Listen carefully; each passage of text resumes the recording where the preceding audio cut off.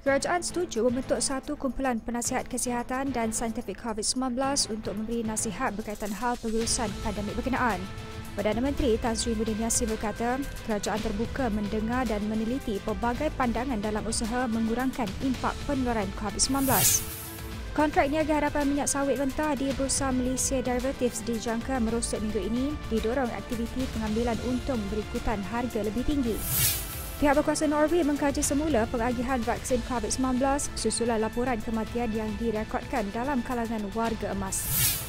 Ikuti saluran 501 dan astroawani.com untuk laporan penuh.